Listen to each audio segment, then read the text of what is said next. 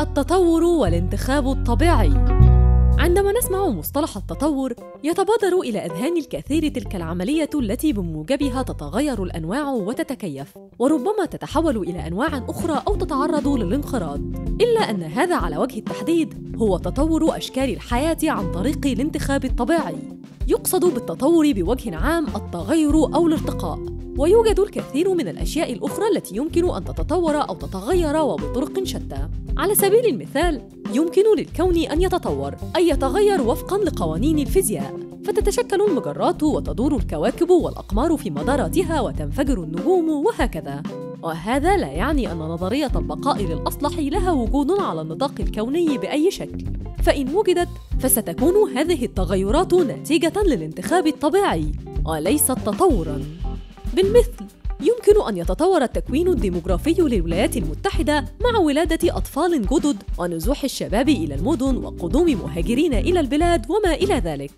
من هذا المنطلق، التطور يعني التغير فحسب، ولا يستطيع أحد إنكار أن مثل هذه التغيرات تحدث، فالأدلة عليها دامغة.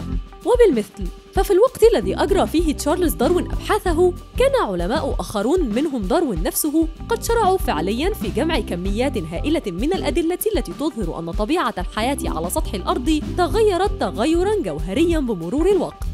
لا تكشف أقدم الصخور لدينا عن آثار تدل على وجود حياة، في حين تظهر الصخور الأحدث حفريات لعوالق وطحالب بحرية وحلزونات وأسماك وأشجار وحشرات وديناصورات وثدييات وغيرها. ولا ينكر أحد إطلاقاً حقيقة أن الحياة على سطح الأرض تتغير بمرور الوقت، وهذا هو جوهر التطور. ما طرحه داروين في نظرية الانتخاب الطبيعي هو تفسير لكيفية حدوث هذا التغير بصورة طبيعية، وهو تغير تدعمه أدلة قاطعة. ربما نجد في كارثة مكوكي تشالنجر عام 1986 مثالاً توضيحياً، حيث أظهرت جميع الأدلة أن مجموعة من الجزيئات يطلق عليها اسم تشالنجر تحولت بصورة مأساوية من مكوك فضائي ومعززات صاروخية إلى سحابة من الغاز والحطام عقب انطلاق المكوك الفضائي بوقت وجيز.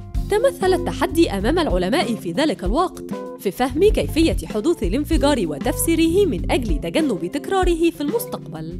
في النهاية قدمت نظرية دوائر المطاط التي تجمدت بداخل المعززات الصاروخية والتي قدمها ريتشارد فاينمان تفسيرا مرضيا لسبب حدوث الكارثة بإمكانك معارضة تفسير فاينمان لوقوع الانفجار أو معارضة تفسير داروين لكيفية تغير الحياة على سطح الأرض لكنهما تفسيران رائعان للغاية لهذه الأمثلة الموثقة جيدا لحدوث التغير في الكون. في النهاية سيستمر الكون في التطور ولعل أفضل ما يمكننا فعله هو تطوير مفاهيمنا. فهذا جزء من الحياة وهذا هو جوهر العلم.